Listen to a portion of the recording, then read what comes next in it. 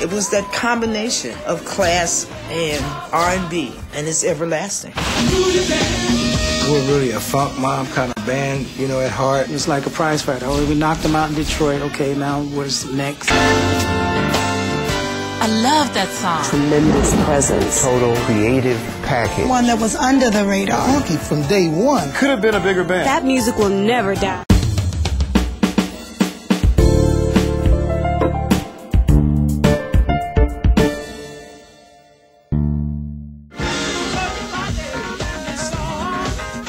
In 1978, the classic funk pop band known as Rose Royce was cruising down a highway paved with platinum. Everything was a blessing. Everything had something to do with a power that none of us had any control of.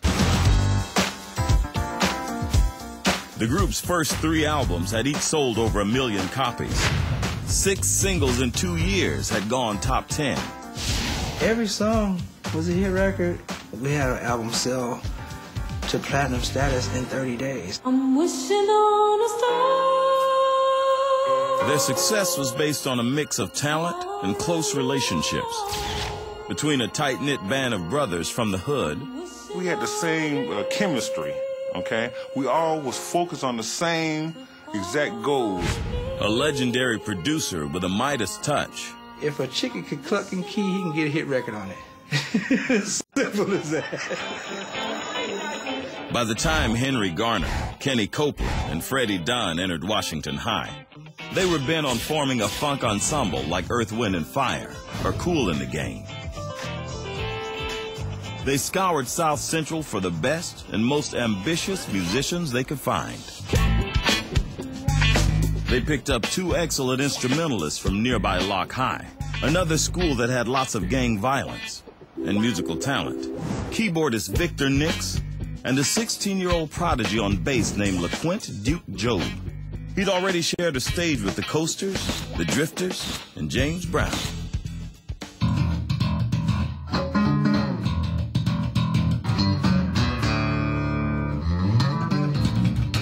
He was an incredible player. Anything he played, he'd pick up just like that, you know.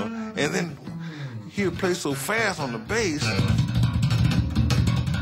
He would play bass, dance like James Brown, and sing and never miss a note. I said, listen, whatever it takes, we, we have to get this guy.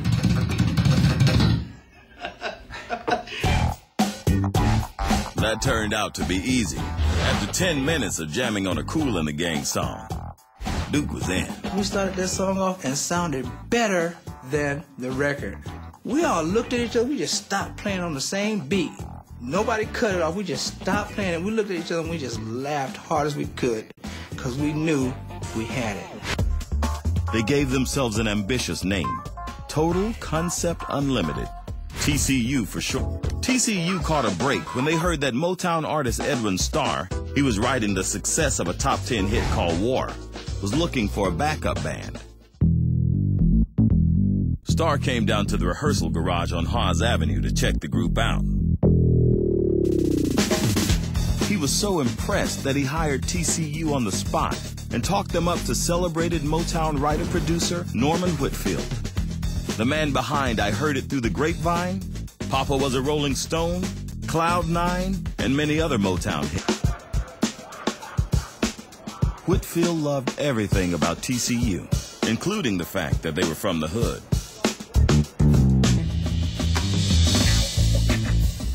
Whitfield left Motown in 1974 and formed his own label, Whitfield Records, he signed TCU as one of his first acts.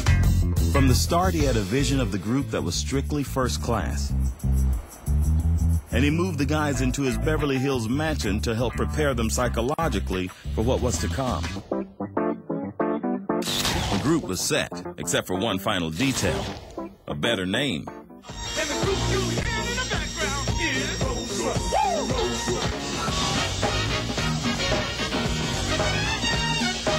Rolls Royce. We're not coming out at Cadillac or the Chevy or Volkswagen. We're coming out at the top. Whitfield saw opportunity when Universal Studios asked him to produce the soundtrack for a movie about, of all things, Life in a South Central LA car wash. First, he had to convince Universal to take a chance on a bunch of unknowns. Then he had to convince Rose Royce. The key, of course, was coming up with an irresistible title song. Inspiration struck while Norman was playing basketball at home with the guys. Rock. You might not ever get rich. But let me tell you, it's better than taking a idiot cheap at the car wash. Once in the studio, Whitfield demanded perfection at every turn, starting with hand claps. It was like six of us. And we did that for almost two and a half hours. I was cussing, and then I got cursed out too, because a couple of times my clap got flat and puffed, and it started all over. The clap set up a funky mechanical beat, as if an actual car wash had rhythm, which is what Whitfield was going for. By the time Rose Royce's debut album, Car Wash, was released in October of 1976, producer Norman Whitfield felt confident that he had stacked the record with hits, from infectious dance tunes to melodic ballads like I'm Going Down.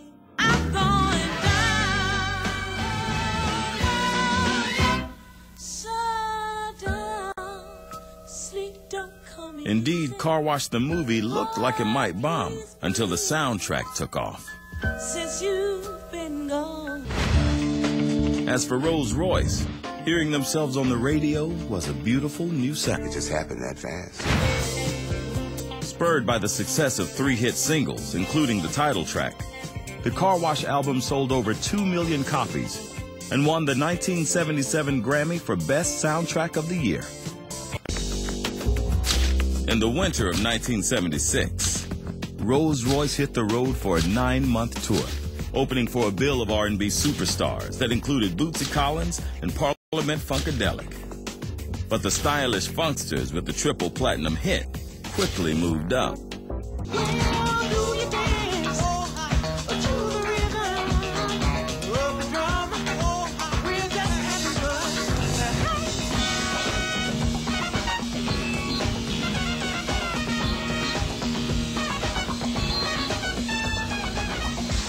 Sharing a stage with funk mobs like Cameo and P-Funk, Rose Royce needed some material that would allow the guys to throw it down.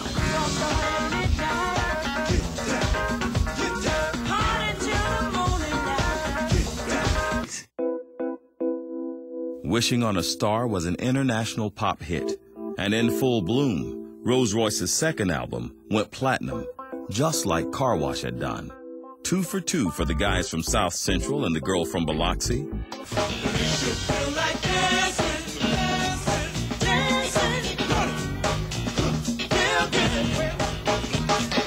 While it lasted, Rose Royce enjoyed a spectacular run. Eight top 10 hits in three years, and two more that went top 20.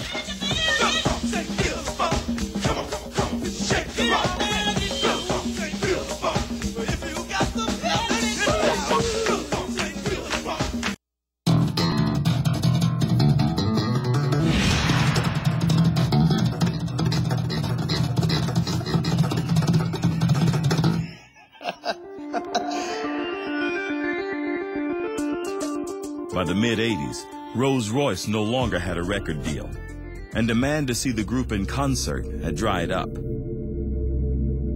It was a steep fall for the aristocrats of funk, but one member of the band fell further than the rest. When I found my DLC, drug of choice, then yeah, I uh, I kept that uh, as a a shield and buckler against the pain and the uh, things that were happening to us. Well, when Duke left, he took a lot of music with him. As Duke's drug use got worse, he chose to live on the street. I was downtown LA, 4th and Crocker. Okay, I was right there on the nickel, the concrete jungle. Everybody knows who I am. They know I'm the bass player for Rose Royce. They know that I've, I've you know, had uh, X amount of dollars at certain points in my life, you know? So it wasn't always a safe place for me to just go anywhere and sleep on the streets, you know? the one-time wonder child of Rose Royce, ended up spending four years in prison for drug possession. He eventually turned the corner on his habit and is now working on a comeback as the Duke of Royce. I'm in a very good place right now within myself and the world because there's no telling. I've learned to live that there's no telling what's going to happen next.